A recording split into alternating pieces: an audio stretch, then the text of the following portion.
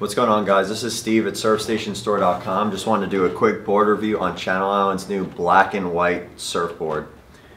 The black and white was based off of a hand-shaped board that Britt Merrick made for Dane.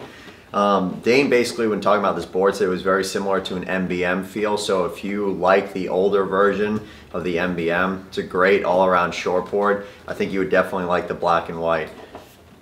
The black and white has a pretty pretty good full rail. Um, you know, throughout the board there is a single concave until you get down towards the tail and the fins, and it breaks off into a double concave. Overall, there's um, just a great spread out range of volume in the nose. Um, it's a pretty light uh, entry rocker. Towards the tail, there's a little bit of a kick, and in between the two, it's pretty flat just a great board. I think it's going to have a lot of drive. You get a lot of speed with this board. I would definitely consider riding it in decent surf. This isn't a board that I would say to take out in the smaller waves. You know, anything from waist below I wouldn't suggest, but I would say chest high with a little bit of push be super fun. With this board, you typically want to ride, according to Channel Island's website, they say you want to ride it in your height to three inches bigger. But depending on the surfer and depending on the accessibility as far as for how long they've been surfing, where they're surfing, you know, you can kind of vary with those, um, you know, details.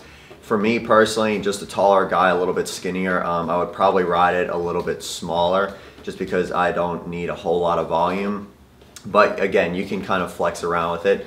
Typically these boards come with a three to five fin setup. You can kind of find them both within our store, but you can custom order them on our web store.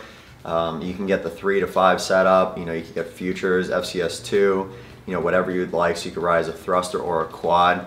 Just overall, this is a great board. The MBM, again, that, that Dane said that this was very similar to, is a great board, something I've ridden and I loved, you know, a couple years ago. Um, so overall, this is a great board. I think it would be fun for any conditions in the powerful, powerful surf. You know, I would say, you know, like in the beginning, I was talking about just chest high to bigger you know, would just be fun. Um, so if you just swing by the store, you can check them out or visit us online at surfstationstore.com and grab a black and white surfboard from Channel Islands.